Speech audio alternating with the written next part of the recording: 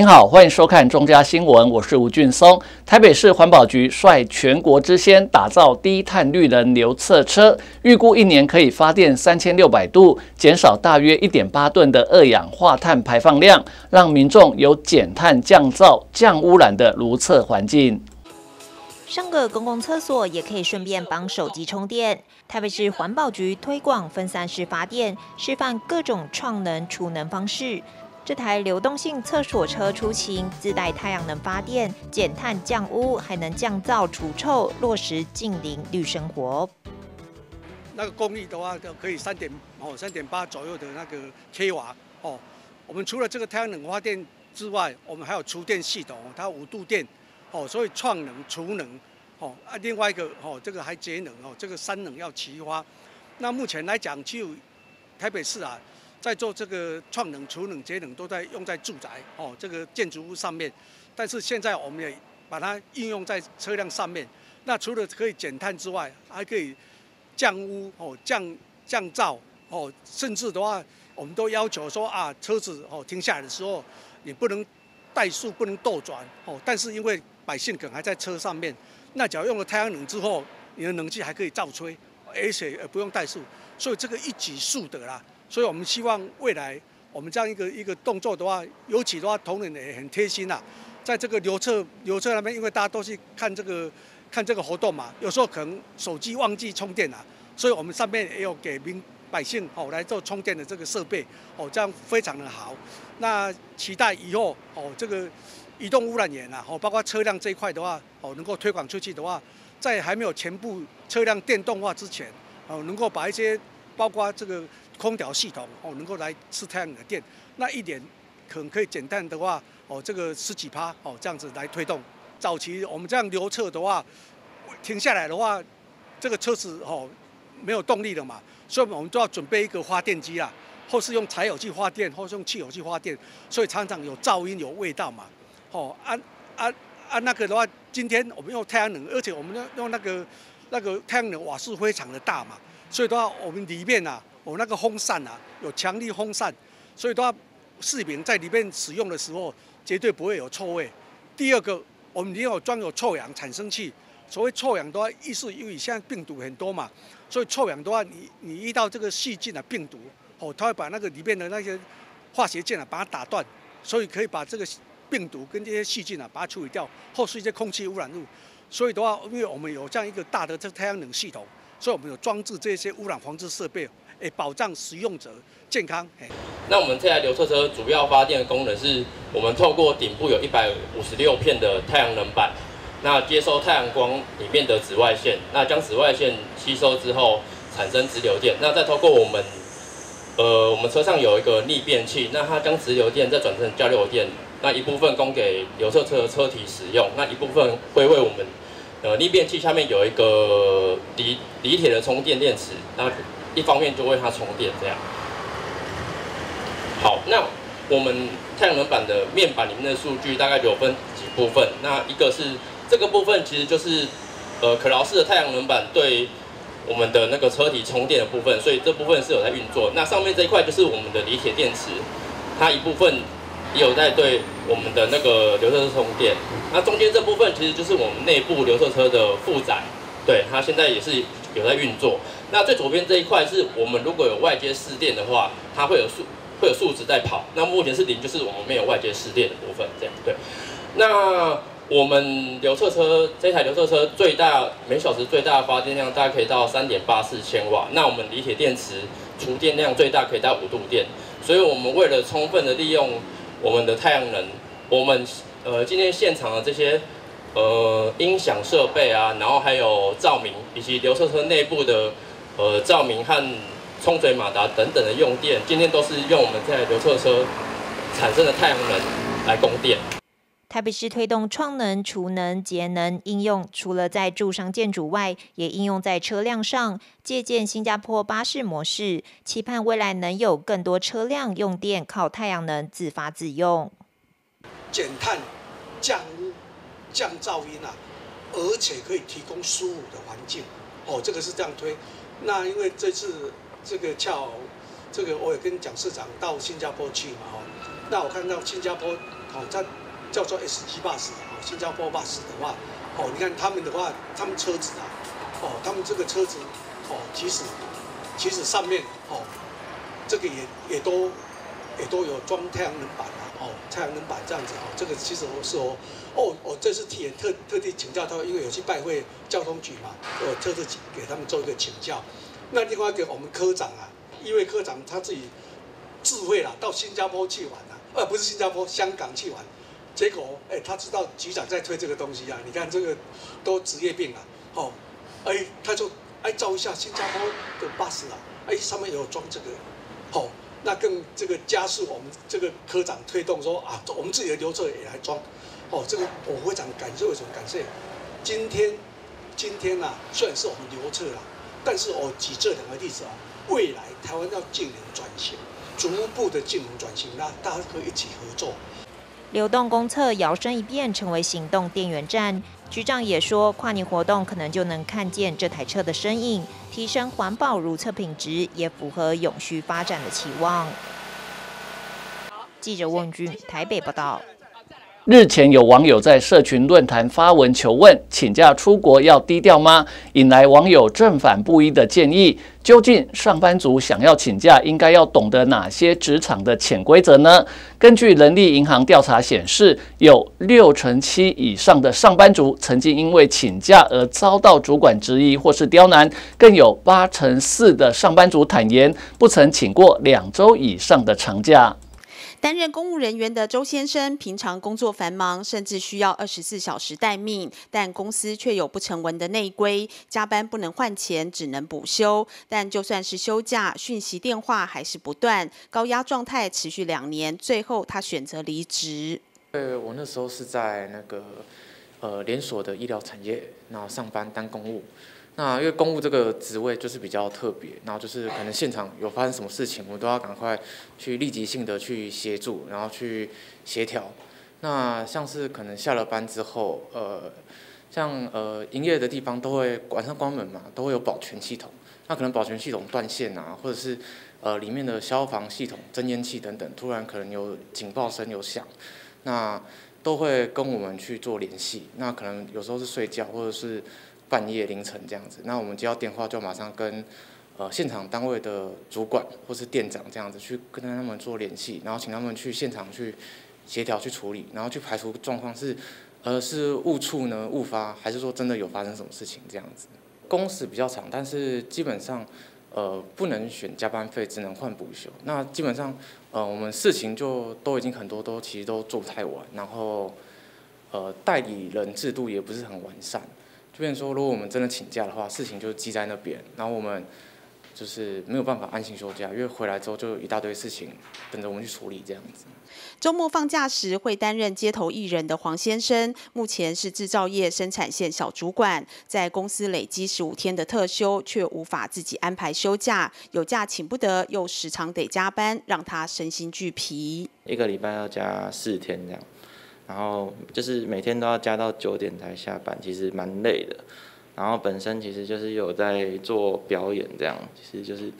就是其实身体会很累这样。有时候就是很想要稍微休息一下，但是就是因为我们公司的人力比较吃紧，然后就是比较很难很难休。对，然后就是刚好有一次有机会，是因为确诊的时候，就是公司也会怕被会传染给同事，所以就是这就那时候刚好可以休一个礼拜这样。可能大家会觉得说你只是想休息而已，就是 大家会觉得说他们每每个人都是都一样在上班，然后加班，为什么你可以休息这样？在成衣厂担任业务的赖小姐，因为有重要的事情需要请假，刚好同事确诊，老板请了她不准假，但最后赖小姐还是请了假。返回工作岗位后，老板便经常借故刁难。我们那个组组里面有两个同事，就是我跟另外一个同事是一起负责的。然后有一天，那个同事就确诊，然后他确诊他就请假了七天，但是我已经有提前跟老板请假，我说我。呃，我提前半个月，我说我那一天有重要事情，我一定要请假。然后半个月前他说好，然后因为我另外一个组的同事他确诊，然后他刚好在我要请假的前一天，呃，请假那一天才回归这样子。然后我老板就说，不行，不能请假。然后我就问他为什么，然后他就说，因为我没有就是面对面的交接，我就说我会线上跟他交接好，他就说不行，然后他就有一点语带威胁的，然后刚好旁边他有客人，就是我们公司他就会就是请客人在旁边泡茶这样，然后他就说，他说现在有客人在，然后他就请客人听一起听看看，然后他就说，他就问我说，你觉得这样子合理吗？然后就说。呃，我年轻的时候都没有这样子，你自己要不要回去想一想这样子？后来就是有一点刁难，就是像我们公司就是要扫地啊什么的，然后就是擦玻璃的，然后他就说他年轻的时候玻璃就是擦的很干净什么的，然后每天就来跟我说，为什么你玻璃都擦不干净？这是我们的门面呢什么的，然后我就想说我是来工作的，不是来打扫的。根据人力银行调查显示，有六成七上班族曾经因为请假而遭到主管质疑或刁难，主要原因在于部门人手不足，会加重同事工作量以及主管个人好恶等。还有百分之五十二点八认了临时请假有困难，原因是担心被贴上黑标签。至于两个礼拜以上的长假，有百分之八十四点三坦言不曾请过。临时请假最困难的产业排名第一的就是媒体业，还有金融业了。至于请假最容易被刁难的产业呢，则是船产制造业。好，跟我们疫情之前相比哦，其实当时最难请假的产业，临时请假的部分，第一名同样是媒体业。至于请假最容易被刁难的产业呢，则是运输还有这个传播之类的行业。但是呢，对比今年的结果，最难请假的第一名是传产制造业，所以是有一些落差的。那另外，其实近年因为缺工的关系，像是今年第四季缺工的情况呢，就增加了百分之四，职缺数比去年同期是增加的情况之下，也让员工想要请假可能会变得更加困难。人力银行公关经理曾仲威表示，依照劳基法第四十三条规定，员工如果有事必须亲自处理，且理由正当，就有请事假的权利，雇主不可以任意拒绝。但上班族因为怕主管为难，还是会出现有假请不得的荒诞现象。记者林奇慧台北报道。职能发展学院和移民署台北站以及士林区公所首度合作办理新著名金属工艺职能体验营，十九名分别来自越南、缅甸、菲律宾等不同国家的新住民以及新二代齐聚士林公民会馆一同学习。两个小时的体验营，让每位学员带着亲手制作的金属线编织复古风手链丰收回家。新著名金属工艺职能体验营吸引来自越南、缅甸、菲律宾等不同国家的新住民及新二代参加。职能发展学院高俊仪主任表示，学习金属工艺的技术，未来可以从事金属饰品创作、销售或开设个人工作坊。参与活动的新住民许多都是第一次动手制作金属饰品，觉得十分有趣，也期待未来能够再有类似的课程可以参加。我是菲律宾新二代，呃，我今天是我第四次参加移民署的活动，今天很高兴能参加职能发展署呃所安排的课程。那今天所安排的课程是呃做首饰的 DIY。那我相信呃在这堂课程中，我可以学到很多，也可以认识很多新朋友。今天我来这里，因为我想要写写怎么做那个那个我们那个手手手是哎来来写才有机会做这个，然后以后我家里要自己做这个这个手链手链这样。职能发展学院高俊宇主任表示，职能学院会依据职场需求开办不同的体验营或职前训练。十二月十六日将配合圣诞节举办银戒指制作的新著名职能体验营，欢迎新著名朋友踊跃报名参加。记者李希慧台北报道。台北市乡土教育中心展出的百年风华大道城特展，网罗大道城十二间不同种类店家的故事，透过展览带民众跨越时空，感受老店的魅力。台北市乡土教育中心展出的百年风华大道城特展，网罗大道城十二间不同种类的店家故事，规划三大展区，从原生在地的老店家，到跟随大道城发展而前来扎根的后进商号，以及可以亲自动手体验的互动体验区，让参观民众在蒙甲也能感受到大道城的产业魅力。我们大澳城创意街区发展协会，其实在大澳城我们有去这一个盘点这个所谓的大澳城的百年店家，哦，大概有三十几间。那呃，其实去年在我们自己大澳城的空间也有去做过相关的展示。那今年呢，哦，就特别跟这个乡土教育中心这个青鹏主任这边也聊到说，哎，那我们这个百年店家的一些相关的资讯有没有机会来到乡土教育中心？因为香港教育中心比较否这个所谓的中小学啦这个部分的一些教育，那我们其实就很希望说做更多的推广。那蒙甲跟大稻城本来就是两个老的城区嘛，那本来就有很多相关类似的产业或者是形态，甚至文化。那所以我们想说，诶，过来这边展应该也不会很奇怪啊。那这一次主要就是说。我们一样把这个大稻城百年店家脉络带过来，那不一样的就是会有一些互动的地方，然后比如像我们身后的这个拍照墙，好，就是我们仿这个南街英镇，我们把它做成有点像是稻城英镇，哦，就是说因为它不是只有迪化街，还有其他几个地方的店家，对，那这次比较特别的展品，像是有这个，比如林富镇商行的这个，因为他们是。未知数的代理商，那当时未知数只有发二十个铁牌给他的代理商，对，然后这个是天字第一号，它是被第一个被发的牌子。那其他我们也有去讲说，呃，这个建筑就是我们的闽南式建筑的长相啦，哦，然后还有比如说，呃，这个大华行这边也有一些，比如说，哎，打棉被的用具啦。还有这个蒸鱼翅的这个竹竹子的东西竹器啦，哦，然后李廷香这边大家可能都看过他的饼模，但是我们这次让大家可以带饼模回去，就是你可以拿个纸去拓印，把你喜欢的饼模的图样把它带回去，而也有一些教育意义在。那零三亿的部分也是，就是真的有毛笔，让用他的毛笔来挥毫一下，在现场可以写一下。哦，那这一次也有一些。呃，可能他们即将是百年，或者是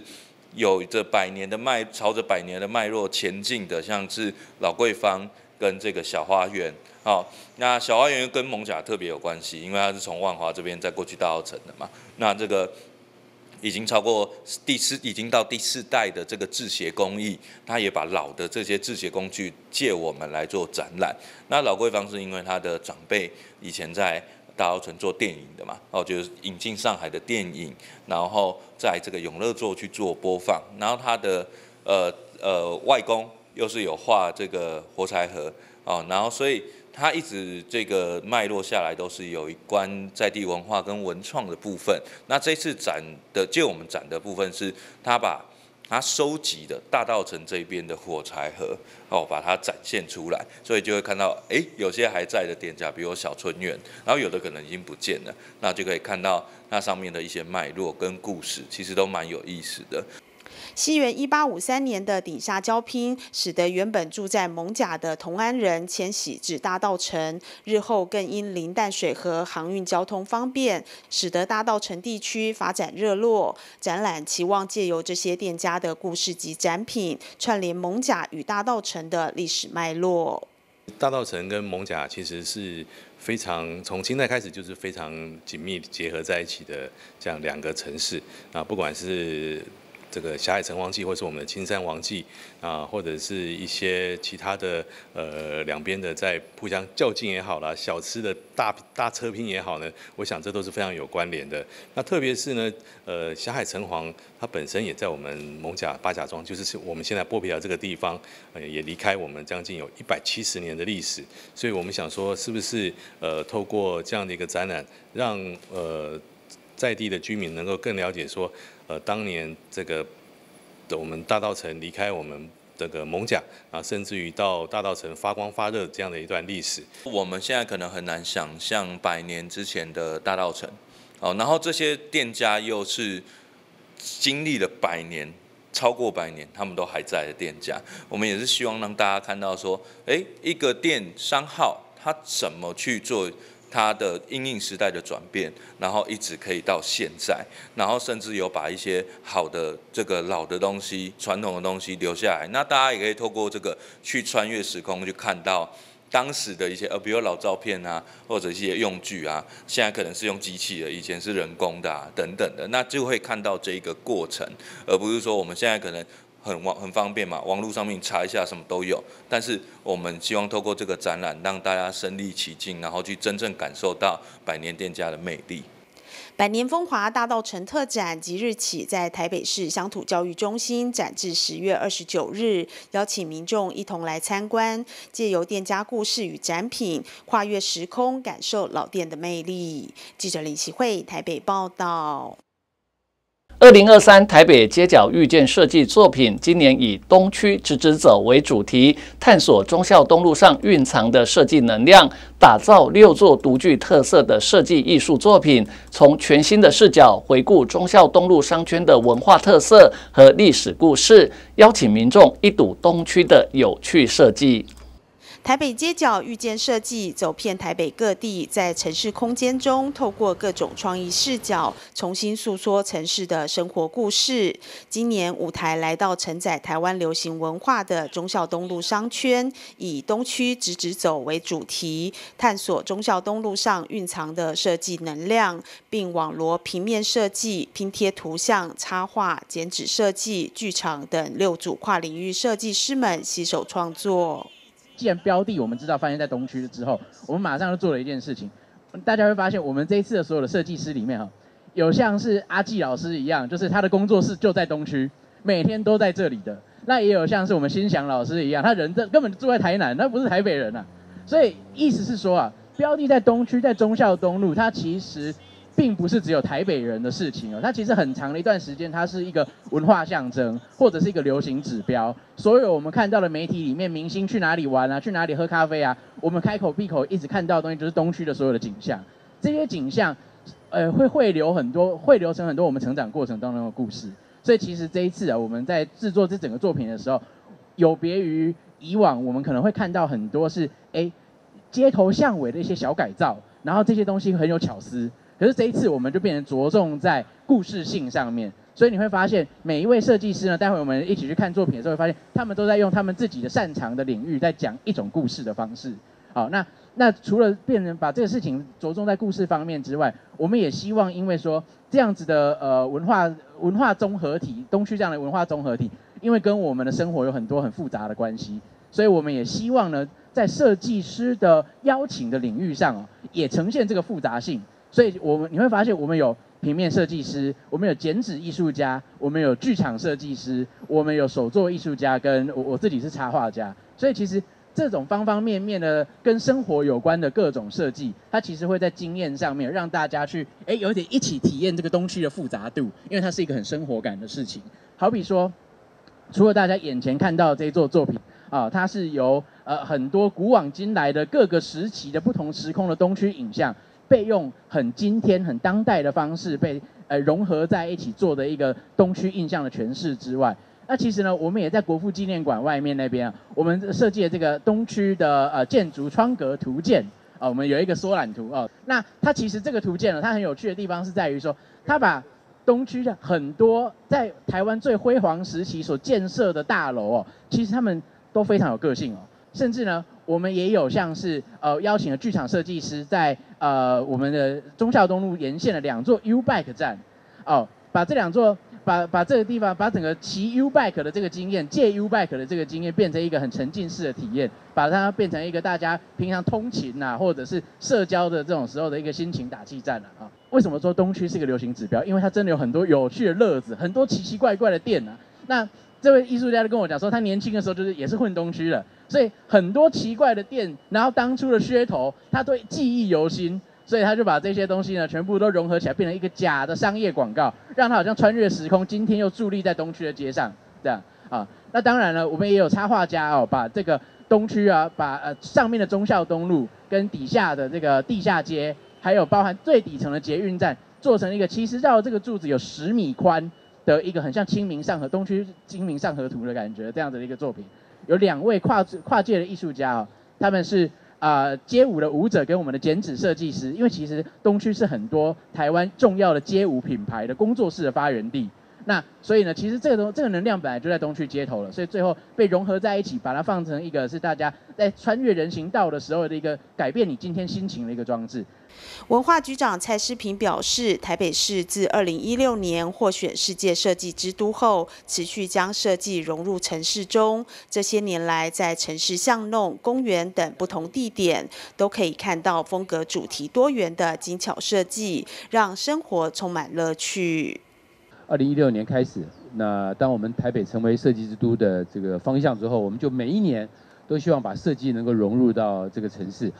你说这？二零一六年之后到现在为止有没有变化？其实蛮多变化的哈。我们在小巷弄，在很多的公园都看到了设计的某一些精巧的设计，有的非常的呃文青，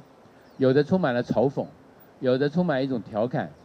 那我觉得都让这个城市充满了乐趣。这证明设计是充满了能量的，设计是可以改变我们的生活的，设计是可以让我们的日常生活中间增加一点小的情趣。所以我想，作为呃文化局的呃一份子，我会非常希望我们这个案子呢会继续推，好吧？我们会继续推，一直往前推，让台北的每个每个区域都能够让设计进入到这个巷弄里头。二零二三台北街角遇见设计作品展至十一月十九日，透过设计师的创作视角，以各异奇趣的街头装置作品，邀请民众一起感受似曾相识却又与众不同的新东区记忆。记者李希慧台北报道。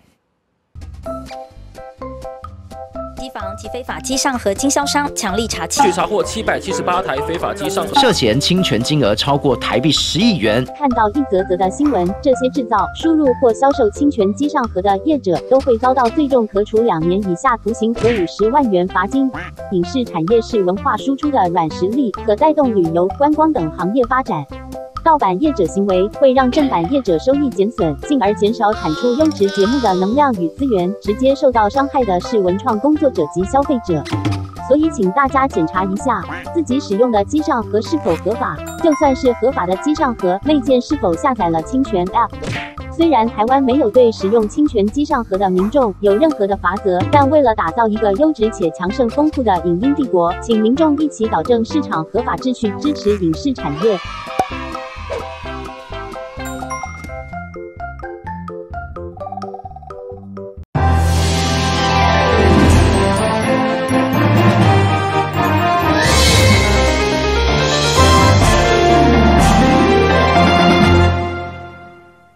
台北市都更五件政策，再加两件防灾型都市更新专案，以及整件住宅专案计划。只要符合法定条件，整件住宅、海沙屋以及耐震力不足而有明显危害公共安全建筑物，市政府将给予容积奖励，最高可达百分之百，并且提供多元协助，积极打造韧性宜居城市。台北市三十年以上老屋高达六十四万户，为了加速危险老旧建筑都市更新，台北市长蒋万安继今年三月宣布都更五件后，再宣布加两件，只要符合法定条件，整宅、海沙屋及耐震力不足而有危害的物件，市府就给一百趴的容积奖励。那防灾都呃防灾都跟适用的对象，当然我刚刚讲的一个是危险建筑物。呃的部分，那刚刚有讲过是这个这个这个耐震起呃耐震不足的部分，I D 值小零点三五，那这部分是我们辅导的一个对象。那当然，呃，我们还是希望这个都跟其实跟都跟后其实对都市环境有一些呃好的这个正向的影响，所以我们大概有一些条件，譬如说基地条件一一千平方公尺太小的这个部分，其实呃对都市可能也不是。都市呃更新后对都市的环境也不是很好，所以我们设定了一百平方公尺。那合法房屋经过鉴定，呃，经过耐震鉴定能力不足的部分，这个大是我们主要呃呃主要这个这个这个辅呃辅导的一个对象。那我们这个建筑物里面都跟你只要大概满足了大概结构安全、韧性的呃耐候的韧性，或者是友善环境跟居家防灾的时候，你只要符合这样的一个需求，基本上我们就。会给予大概一点八倍到两倍的一个基准容积，那这个部分是不需要额外去有做相关的对象，只要符合这样的一个条件，基本上都可以都可以呃都可以有这样的一个奖励。所以我们原本都跟的奖励都知道，就是一点五倍百分之五十。那这个是呃都更条例里面要求的一个规定。那我们这一次的专案的部分，在一点五倍以下，再增加了三十趴的一个奖励的部分，你只要符合刚刚讲的那几项，基本上我们就可以三十趴的一个奖金，让这个都更能够呃赶快的做进行。那另外，当然刚刚有提到，它如果是海沙屋不足，那它如果是海沙屋又耐震力不足的时候，其实我们会给到大概两倍的上限的奖励为为基础，这当然是我们这个奖励的一个内容。呃，整宅专案的部分，我刚刚有说明的部分，大概呃十九处，现在还有没有完，还没有这个重建的这个部分，我们积极的协助。那我们协助的部分。民办或公办都跟都适用，并不是说这个只有公办都跟才可以，民办都跟基本上也是 OK 的。那基本上刚刚也讲到，你要有满足一些设计的规范，譬如说你要退缩啊，要有雨水，要有退缩建筑啊，要有雨水滞留或者一些开放性空间的留设。那这个部分是对都跟以后的这个都市环境的友善性做贡献。那有了这样的一个贡献的时候，因为都跟我刚刚有不，因为整宅的这部分，它基本上它的户数非常的多，那每每户非常的狭小，所以我们大概原则上是给到呃除了都跟奖励五十之外，另外我们直接给予五十趴的一个容积奖励。那这样的容积奖励基本上希望能够确保这个民众的一个有面积的居住。那这边要说明的部分，我们最高，我们的我们大概还是有些淡数，这个基础容积基本上，呃呃是以两倍为上限，就不可能再往上，因为其实，呃，我我们常常讲都更要成功，就三件事情，第一个是地价，一个是造价，一个是民众的这个意愿，意思是说他要分为多少，那我不可能给到，毕竟这个容积是一个公共财，所以我们还是以两倍上限为基础。那这边跟各位做一个说明。那呃，整台砖的奖励基本上是给到两倍。那这部分大家只要满足刚刚前面的一个条件，基本上都能够适用。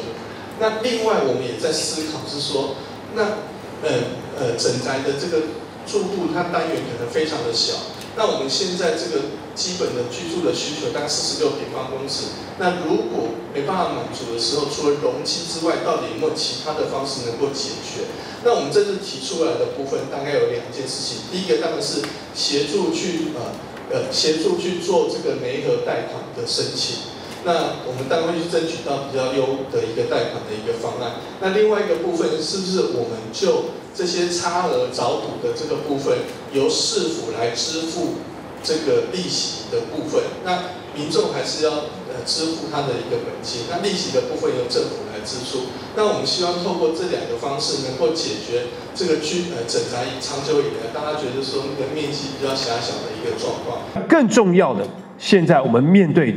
是居住的安全，所以我们不得不提出相关的政策。加速我们这些老旧建筑物以及有安全疑虑的建物进行更新，所以这一次我们多了两件，多射出的这两件就是第一防灾型都更，第二整宅专案。防灾型都更，简单来讲就是针对海沙屋或者耐震不足的建筑物，我们透过三个原则，包括增诱因。加速办减灾害，我们这一次只要针对耐震不足达到我们的标准，我们就给予容积奖励百分之三十。如果又是利率过高，经过检测之后，我们就给予百分之五十的容积奖励。也就是说，这一次的容积我们提高到一点八到两倍之多。我们希望透过这样的力道来提高，并且加速。我们这些需要防灾型的都市更新。第二个，我们减灾害，刚刚也谈到，我们希望未来它的整体规划是朝向友善环境、居住防灾、耐候韧性，好以及结构安全四个方向。我们当然希望更新，需要未来更新要盖的安全，哦，这个是非常非常重要的目标。那加速办。我们就加速整个审议的速度，甚至我们用强制拆除的做法来都市更新，来针对这些有安全疑虑的建物进行更新。第二个，第二支箭就是整宅专案，整间住宅台北市目前还有十九处并没有完成重建，所以针对这十九处，我们再次提出专案，一样增加容积。另一方面，我们补利息，也就是提提供相关财务的协助，包括我们利息的补贴、煤和贷款。另一个，我们就是不管是公办或是民办，我们都可以一体适用。哦，所以这个部分，我们透过整宅的专案，希望针对这一万多户还没有进行重建的呃整宅住户，我们希望能够加速我们整个更新的速度。所以透过这两支箭，我们希望能够加大的力道推动都市更新。其实上个星期我到首尔去参加城市峰会论坛，跟首尔市长见面的时候。我们也共同讨论到了都市更新这个议题，因为首尔同样面对很多老旧的建物，我们交换了意见。另一方面，我也跟新加坡国家发展部的李志生部长见面，他也谈到我们相关都市更新的政策，因为在新加坡，他们也同样面对接下来他们发展非常久祖屋的议题，现在也面临了艰巨的挑战。我就告诉他。说我上任之后，我们有提出都跟五箭，他还说五箭是什么？我说就是射箭的箭，five arrows。然后他了解，而且我还跟他说，首尔回来，我还会再宣布两支箭，another two arrows。他非常惊讶，他说你们速度好快。我说我们面对的挑战是非常艰巨的，然后我也跟他讲相关的数据，他了解到必须要大力的推动都市更新。他也对于我们提出相关的政策，也觉得很值得他们带回去参考，所以我提这一点，就是表示对的事情我们会坚持，我们也会持续的收集各方的意见，让大家都能够有更高的意愿参与都市更新。北市府提出更多诱因，希望全民一起加入围老都更，保障住户一个安全的家。蒋万安表示，北市至少有五千户海沙屋、破万户整建住宅、数十万户未符合现代耐震标准的建筑。透过都更新政，期盼翻转城市围老现况。记者温俊台北报道。台北市南港区首次举办东区社区杯三对三斗牛赛，主办的南港区玉成里里长黄聪志，除了实现选举的竞选承诺，也期盼透过篮球比赛吸引更多青少年投入社区事务。透过镜头一起来观看精彩的比赛。一个精彩的火锅后，随即妙传队友在三分线外放冷箭得分。这项在南港运动中心进行的台北市东区社区杯三对三斗牛赛首次举办，筹办的南港区玉成里里长黄崇志表示，主要是为了实现竞选承诺，同时也透过篮球运动吸引更多青少年参与社区活动。刚开始还一度担心报名队伍数太少，结果共有四十五队参赛，让本身也爱打篮球的黄崇志相当开心。参选里长的时候的证件之一啊，就是要举办社区的三对三斗牛篮球比赛，这是其一啊。后来发现青少年很重要哦，我们青少年这个族群哦，我们担任里长这些年来，青少年族群比较少参与社区活动，怎么让青少年参与社区活动，一直在绞尽脑汁。那终于这一次，先啊也南港运动中心非常良善美意，提供场地。我们先敲他的时间，我们这个活动办得非常仓促，我因为先敲场地，有场地才能办活动。那场地确定十月一号，我们九月二十一号规划开始规划，哈，然后二十二号公告，二十八号截止报名，啊，就四十二队报名，这对我们这个团队哦，有很很大的一个激励。还有我自己台北科大四队，今年刚好担任会长，也想。本来就在狮狮子会里面提案，李先生提案要举办三对三斗牛篮球赛。狮子会来讲哦，青少年活动也是很难的啦。清狮子会要办清算活动也是很难的，就提案通过，通过，然后用以专区为单位号召几个狮子会，专区有七八个狮子会，所以这一次的活动等于是我们国际狮子会三零零 A one 区，我们台北市台北科大狮子会所属的第二专区底下一些分会，还有玉成里办公处。还有中华民国这个龙王龙王篮球协会啊，加上南港运动中心，那当然主办单位是我们南港区体育会。我们是先写计划书送体育会啊，其实其实还在审查，我们就办了，就先办了。那过程是想，第一报名要免费，好，第二要提供奖金，这是我们筹备的共识。我们都提供第一名三千，第二名两千，第三名一千五，第四名一千。哦，我们提供第一到第一到第四名都有奖金，这小朋友是一个鼓励。那果然，诶，这个后来透过很多。很多团队啦，我们团队里面各自的通路，拜托，然后他他报名进来。你知道，刚开始第一天才七个七队报名，我想哇怎么办啊？就啊隔天隔了一天三十几队，我就决定就报了。经过激烈的竞赛，四组名次出炉，国小组冠军由 V Plus 拿下，国中组第一名是敦中 Rebels，高中组冠军由一人一千夺得，社会组则是想不到叫什么队夺冠。黄崇志强调，台北市东区社区杯三对三斗牛赛明年将持续举办，希望透过这项比赛，让爱打篮球的市民以球会友，也协助让基层篮球运动在社区扎根。记者张启腾台北报道。报案遭到偷拍，反遭远警传不雅猥亵影片。一名 H 小姐在台北市议员徐巧芯陪同下召开记者会，表示因为洗澡被偷拍而到士林分局报案，承办远警却私下加赖，并传漏鸟影片对她骚扰。对此，士林分局已经将该名远警调职处分，并且移送士林地检署侦办。拿出一张张与远景的赖对话记录，H 小姐在台北市议员徐巧芯陪同下召开记者会，表示因为洗澡被偷拍到士林分局报案，承办远景却希望加赖方便联络。一开始 H 小姐还不疑有他，没想到却收到远景在山上拍的漏鸟影片，让她遭受二度伤害。呃，这边看到加了 line 以后呢，哦，当事人说您好哈，我是这个当事人，想要问对方的手机会不会被没收。然后呢，这个人就说我还想这狗是谁，就在谈这个呃大头贴，以为诈骗，然后开始寒暄，然后才回复说手机画面都截录后他发还。然后呢，我们的当事人问说他手机里面的资料有删除吗？他说当然啦。然后呢，我们的当事人也在问说，那会调查他的笔电或硬碟吗？这个时候他又开始寒暄，开始问说，你今天没有课吗？要好好休息啊，等等的。然后呢，哦，你可以看看得很清楚，是我们的呃当事人都是很希望了解案情，可是在这个时候，这名员警就已经开始利用对方想要了解案情的心态，开始跟他去做无呃跟案情无关的聊天内容了。后续就他就开始传网络上那种爆料公司的搞笑影片，这样，然后他就问说：“我可以传个影片给你笑吗？”我就觉得哦，他应该是又要传类似的搞笑影片给我，所以我说可以啊。然后他就回我：“你不可以告我。”到这边我就觉得很奇怪，但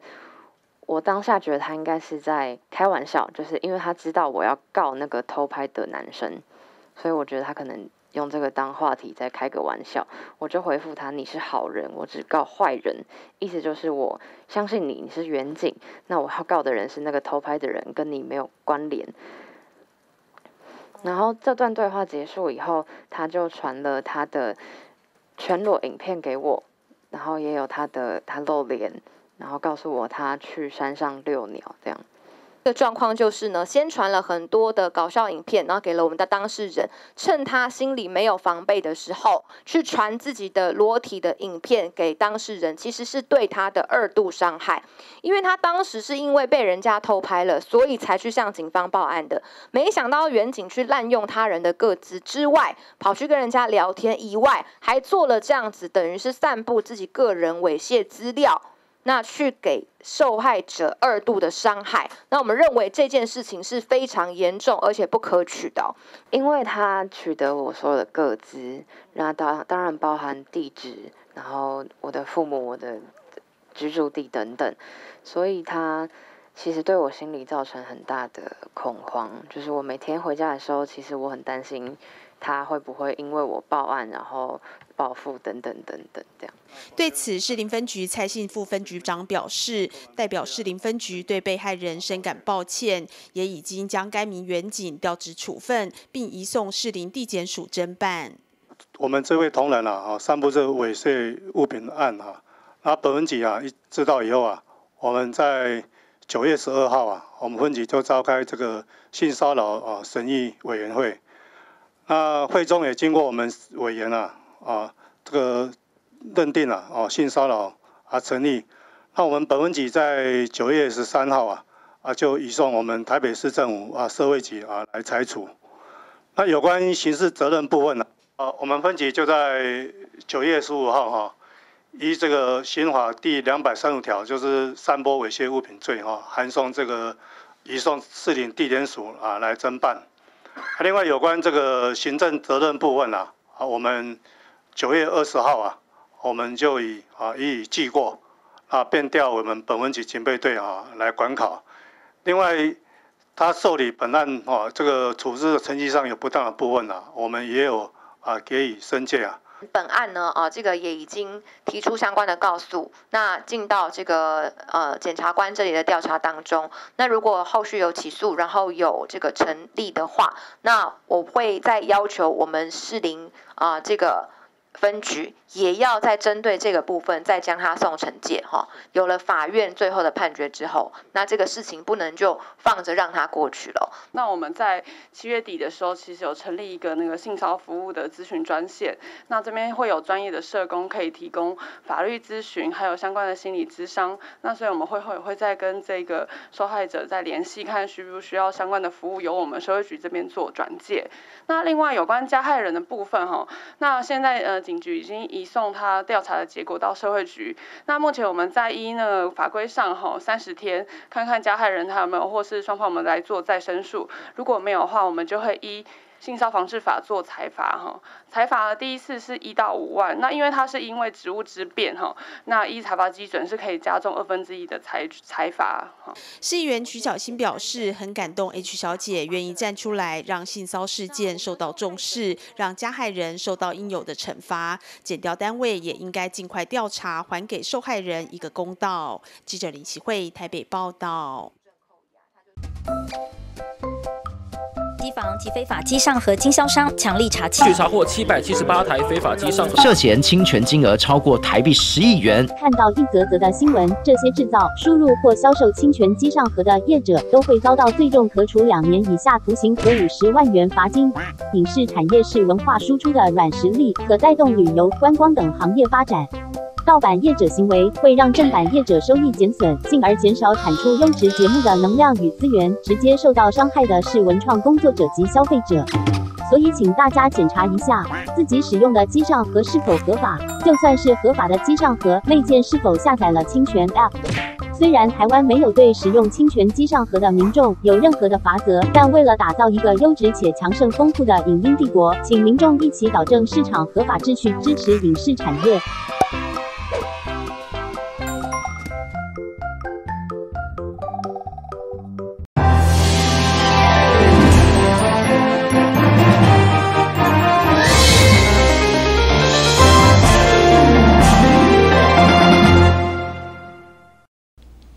您好，欢迎收看中嘉新闻，我是吴俊松。今年的全运会，基隆市代表队夺下三金两银三铜的好成绩，创下十年来最佳表现。尤其是游泳选手邓宇文表现亮眼，成为三金泳后。市长谢国良亲自加冕得奖的选手和教练，也宣布明年一百一十三学年将恢复办理中心国小游泳体育班。OK，来一二三，爱心，爱心注意。今年的全运会，基隆市代表队夺下三金二银三铜的好成绩，在游泳、橄榄球还有跆拳道品试项目表现杰出亮眼。市长谢国良在教育处代理处长杨桂杰的陪同下，亲自加冕获奖的选手与教练，也进行现场座谈，关心基隆的体育发展目前遇到了哪些瓶颈？呃，有断层的现象，是因为哦，中心国小的体育班被废掉了。所以我们一直就是没有选手的来源。我们是不是给他一个机会，就是说，他如果说能够帮我们拿到奖牌，那我们这边是否这边可以帮忙安排他就业？那当然说就业不见得说一定每个人都是一定是教练，甚至我们可以安排说，比如说环保局，那甚至说田径场的就是呃负责人。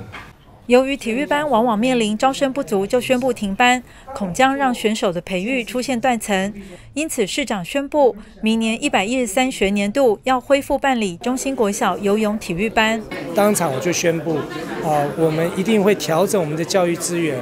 让我们中心国小的体育班能够在明年度就要一定程度的逐渐恢复，因为你还是要三级制不断的训练我们的选手，将来有才有机会在全运会拿到好的成绩，它不会凭空出现的。刚才各位教练还有各位选手所表达意见，我们市长都听见了，还有我们杨处长在这边，我相信在市长的政策领导之下，我们体育会也会全力来配合我们政策上的一个导向。来跟我们体育的各位好朋友们、好好同学们，大家来努力。那当然有专班的话，就需要有到教练。所以未来的话，也希望说我们市政府这边，那当然议会这边的话，我们会大力来鼓吹。那可以呢，这个聘任我们更多的专任教练。未来对于很多选手，其实也不只是说只有得到金牌的选手，应该是说对普遍的选手们的一个就业要一个辅导。那我们教育处可以用一个委办案。委托人力资源相关的公司、企业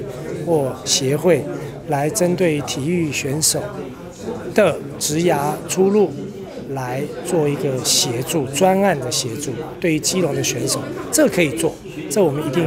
啊，明年度就会来做。副市长邱佩玲也来到现场，恭喜获奖的全运会选手。全运会期间，副市长亲自到台南观赛，为基隆队加油打气。选手奋战的精神让他很感动。市府将结合所有资源来照顾并培育选手，让更多的优秀人才为基隆争光。记者黄日升、陈淑平，基隆报道。基隆市长寿山早起会主办的第一届乐活杯桌球邀请赛，在基隆市议会副议长杨秀玉、七堵区永安里办公处相挺协办，以及身兼桌球委员会主委的市议员曾纪言指导下，热闹开打。部分双打更要求年龄合计要一百二十岁以上才能比赛，也吸引许多热爱桌球运动的长者前来参加，提倡要健康、要长寿、多运动的理念。不管比赛单打还是双打，你来我往，比技术也比默契，好不快乐。基隆市长寿山早起会主办的第一届乐活杯桌球邀请赛，在基隆市议会副议长杨秀玉及七堵区永安里办公处相挺协办，以及身为桌球委员会主委的市议员曾纪言指导下，热闹开打。部分双打更要求年龄合计要一百二十岁以上才能比，也吸引许多热爱桌球运动的长者前来参加，提倡要健康、要长寿、多运动的理念，来帮我们争取这些经费，让我们有机会办这个活动，让大家都好高兴、好高兴。所以再怎么样，还是要谢谢发起人他哦，谢谢，哎，这个还有曾议员，好，谢谢，还有杨副院长。应该是方达是一百一啊，一百加起来一百一十对，以及啊年龄都是六十几岁、七十几岁一些乐龄的一些长者来邀请他们来比赛。那感谢我们基隆市议会的杨副议长啊，争取这些经费啊，让我们七堵的长寿山早起会能够办这场活动。那希望说由这个桌球的活动啊，能够促进啊我们长者啊一起走出来，走向社会，走向我们的团体，一起来参加所有的桌球活动。那也增进我们基隆市的桌球体育项目。单位就是我们的这个赞助单位，就是我们的中友跟还有这个台电嘛。那今天的活动，我看到这个我们的长者都非常非常的开心，因为他们跟我说从来没有参加过这个活动，所以他们是非常的这个乐意参加，也希望说以后多多举办这样的活动。当然，这个经费来源非常重要，所以非常谢谢我们这个台电还有中友哈。那今天也让我们这个社区感觉更活化，那也借由这个运动告诉大家说，一定要走出户外。多参与这个社区的活动，多出来走走运动的话，会让你更年轻、更健康。也因为主要是吸引爱打桌球的长者来以球会友，因此比赛规则中，除了第二点单打年龄性别不拘之外，第四点单打要六十岁以上男女不拘，第一点双打合计年龄要一百一十岁以上男女不拘，第三点混双则是要年龄合计一百一十五岁以上。第五点双打更要年龄合计一百二十岁以上，男女不拘才能比。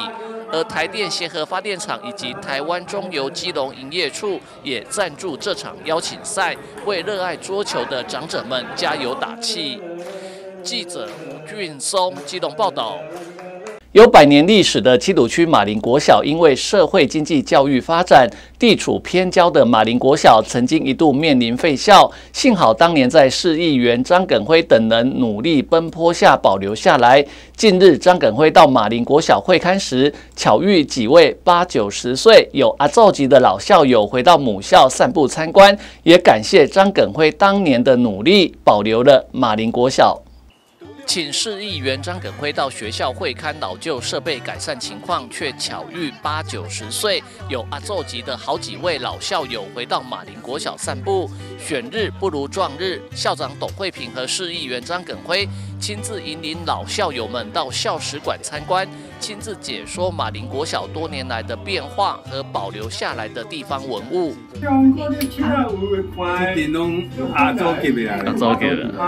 红八十几岁啊。有百年历史的七堵区马林国小，因为社会经济教育发展，地处偏郊的马林国小，多年前曾经一度面临废校，幸好当年在市议员张耿辉等人努力奔波下保留下来。九十二岁阿奏级的老校友参观母校后，特别感谢张耿辉当年的努力，保留了马林国小。谢谢你对我们马林国小的贡献。不来，不该啦。因为这行本来是百年的学校。所以要把它废掉的话，当初因为招生不足嘛，面临着裁裁校的命运。当初我在议会极力的啊，经过我们议会同仁一直支持，然后张市长最后也支持，帮我把它留下来。那留下来，现在学校的话，人数在一年级新的招生都是额满，非常棒。所以这肯定我们学校教育的用心，然后教育处也全力的在支持啊，该校的整个。啊，校务的推展，我觉得非常棒。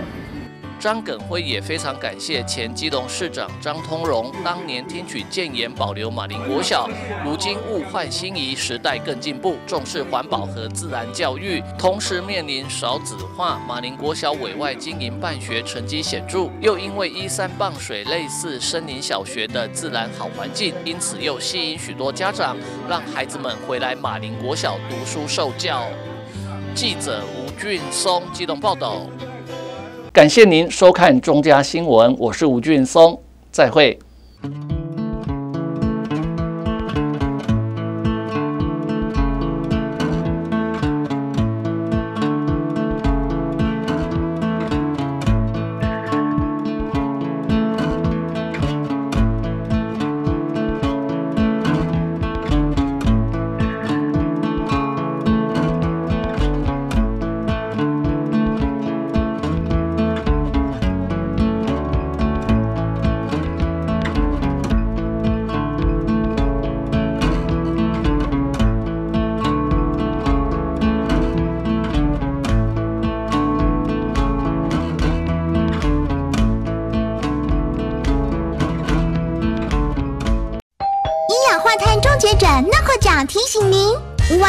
瓦斯热水器绝不可装在加装窗户的阳台、厨房等室内空间，因为瓦斯燃烧不完全就会产生一氧化碳，短时间就会让人头晕、想吐，甚至意识不清。想保命，跟我这样做：一、热水器迁移至屋外；二、更换成强制排气式热水器；三、改用电热水器。诺克奖祝福您，洗澡通风保安康。非法机上和经销商强力查缉，查获七百七十八台非法机上涉嫌侵权金额超过台币十亿元。看到一则则的新闻，这些制造、输入或销售侵权机上盒的业者都会遭到最重可处两年以下徒刑和五十万元罚金。影视产业是文化输出的软实力，可带动旅游、观光等行业发展。盗版业者行为会让正版业者收益减损，进而减少产出优质节目的能量与资源。直接受到伤害的是文创工作者及消费者。所以，请大家检查一下自己使用的机上盒是否合法。就算是合法的机上盒，内件是否下载了侵权 App？虽然台湾没有对使用侵权机上盒的民众有任何的罚则，但为了打造一个优质且强盛丰富的影音帝国，请民众一起保证市场合法秩序，支持影视产业。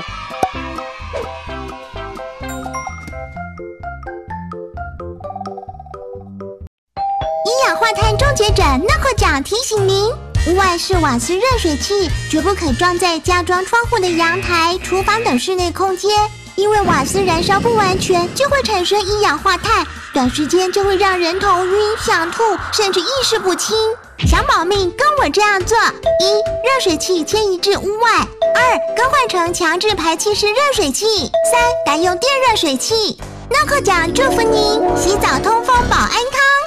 酒驾罚很大。一、提高酒驾违规罚还，再犯才累计加重，罚款无上限，酒驾拒检或拒测罚更大哦。二、呼气酒测值达零点二五毫克以上，连坐处罚年满十八岁的同车乘客。三、酒驾再犯、拒检及拒测再犯，肇事致人重伤或死亡者，没入该车辆。四、酒驾重新考照，需强制加装酒精锁，找别人代吹也不行，要罚六千至一万两千元哦。五、未完成酒驾防治教育或酒瘾治疗，不得再申请考照。六、慢车酒驾也加重处罚哦。酒驾零容忍，内政部警政署关心您。